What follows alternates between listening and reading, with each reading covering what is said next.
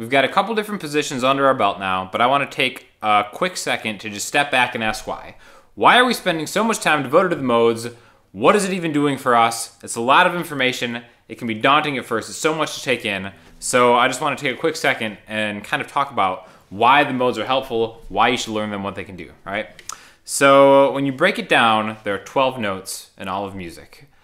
In any key, seven of those notes are good, five of those notes are bad. Now, if you really want to simplify being a good guitar player, you could just say you're always hitting those seven right notes no matter what key you're in, no matter what song you're playing. You're skipping all the bad notes, right?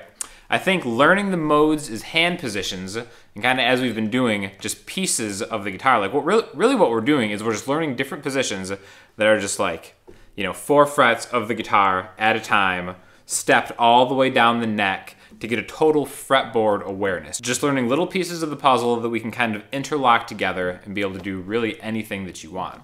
Now, uh, one thing that we can do, so even though we've just learned a couple shapes so far, is being able to navigate through those shapes down the fretboard. Now, uh, for instance, like an example of that is if you're playing up here, right? And then maybe you're able to like take this shape down into this one, into the next one, into the next one, and so on and so forth. So just being able to play through the fretboard and having these positions mentally up here is going to help your fingers do a lot of things. A lot of guitar players get pretty fast with their fingers, and what actually holds them back is just a confidence, like knowing that they're going to be able to go to the right place. Like if you've ever maybe tried to solo something, if you're playing with another musician or something like that, and it's your turn to like take a solo, uh, there might be some kind of trepidation or like hesitance in like what you're gonna do. You might get in one shape that you're comfortable with, maybe like a pentatonic thing. But then if you go outside of that shape, you might start to lose confidence that what you're gonna do is gonna be the right thing. So learning these different positions and seeing how they stack one on top of each other is a really great way to build confidence in your playing. So let's take it down to the third mode. This is called Phrygian. And Phrygian is, in my opinion, the modiest of all the modes. And what I mean by that is you can instantly hear how it's different, right? So we're in the key of C still. So C was Ionian, or major.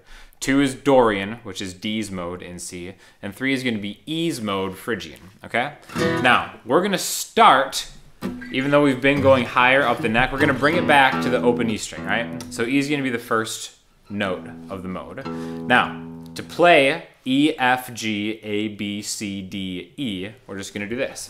Open one, three on the low E string. So E, F, G, A, B, C, D, E, F right? We're gonna actually stop at this. So one, two, three, four, five, six, seven, eight. Those are gonna be our first eight notes of this mode, our first octave of the Phrygian mode. And the thing that I hear right off the bat is that second note, one, two, right? In almost all the other modes, the first interval is going to be a full step, which is two frets. Now, there are only two modes, this one and Locrian, where right away, right off the bat, it's a half step, also called a minor second in interval terms, right? And there's something about that when you start on an E and go right to that F, it's kind of like uh, it's like evil sounding. Like metal guys love the Phrygian mode just because of that kind of sound, right? So when you put it all together, that's the Phrygian mode. And like we've been doing in the other videos, we've been relating that to a different mode. So this is going to be the minor scale with a flat 2 or a minor second, right? So the E minor scale would be like this. Open 2, 3, open 2, 3, open 2. The E Phrygian scale, what makes it special is open 1, 3, open 2, 3, open 2. Now again, we're just learning different positions to play the major scale throughout the entire neck of the guitar, and that's going to be our introduction into modes. But I want to take a second just to kind of see how you can inflect a chord that you already know really well with this one Phrygian mode scale, however you want to look at it. So E minor, the triad that you get from the Phrygian mode when you take the first, third, and fifth is going to be an E, a G, and a B, which you probably already know is an E minor, right? You can arpeggiate that or play it as a chord. Now, that minor second, that flat two that we talked about, you can add that on top of an E minor chord and you can already get what's a Phrygian type of a feel, an atmosphere, right? So if we just have the triad, there's a dissonance, and you might even think that you're kind of going outside of the key, but really you're not. This is the sound of Phrygian. So we're taking the E minor, and we're adding the second note in the mode, and it already kind of has a totally different sound than anything else we've done so far. Now, we can actually compound that by adding the one, two, three, four, five, six. The sixth note, right? So is the C. Now I'm gonna add that C on top of my chord here, right? Now, if I do this, I'm really making a totally different chord. It's actually C major 7, but we don't even need to think about it that way. We're just adding another note in this mode to a chord that we're already really familiar with. So if we just take an E minor and we go back and forth between adding this C and adding this F, we get a really dissonant, Phrygian sounding riff, chord, inflection, whatever you want to call it.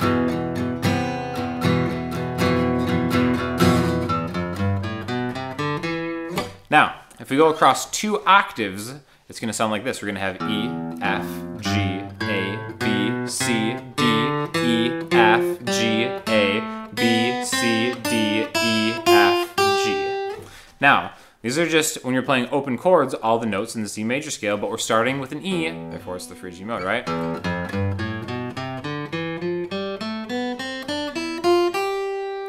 Now, I want to do this in one more position because a lot of times when you learn something with the open strings, you take them for granted and how they're helping you, right? So we're going to root the Phrygian mode on the E on the A string, which is the seventh fret right here, okay? So the first octave is gonna be minor with a flat two. So one, two, and then just continue on through the minor scale. So here's E minor, starting here. And here's E Phrygian. So again, minor, Phrygian. And now, again, kind of how we talked about in the last video, you can see this mode hidden inside of another one, the one we started with, the Ionian mode, the major scale, the C major scale is right here. C, D, E, F, G, A, B, C. Now if we just start on the E here, C, D, E, right? Let's pretend this is our first note. So if you learn the C major scale two octaves through, which we already did, you can just start on mm. E and finish that one scale. Therefore, you're kind of alleviating some of the memorization that comes with it, right? So again, here.